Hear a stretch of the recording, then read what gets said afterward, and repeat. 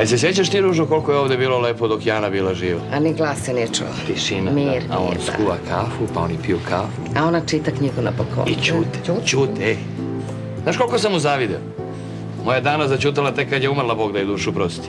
A šta ima žena uopšte da priča? Neko ova naša Kaća što štekće iz salona. Udot ti je bolestan, sestra trudna, maćeha i brat rade ono, a ti po ceo dan piješ i čitaš Dušanove beleške. Super su beleške, ćale ti genije. Genija, a? Pa kad budeš bolje pročitao te beleške, shvatit ćeš zašto sam ja dete razvedenih roditelja. A što se ti praviš da ne primećuješ? Šta da mi se nabacujete?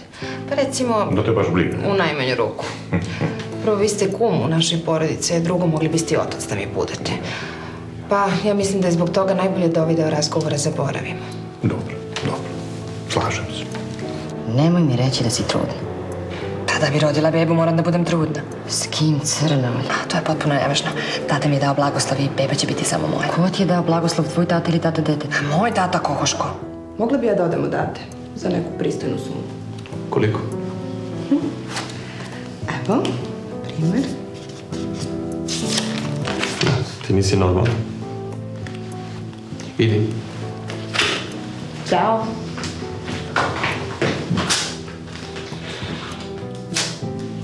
Znaš da mislim da je ona biseksualna? Ko? Tamara?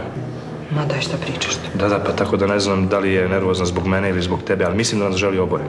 Kapiraš? Dođi, Dođi. Znaš da zbog ovih lekova nekako sam umrtljena, stvarno ne mogu. Pa lepo sam ti rekao da popiješ čašu vina. Ko da ja ne bih popila vino, znaš da mi je Bojan zabranio. Čuo sam se s doktorom Reljićem. Ja, šta kaže profesor? Kaže da u ovoj kući nedostaje seksa. Pa ko će da protivreči takvom autoritetu? Onda večeras terapija. Šta se mora, mora se.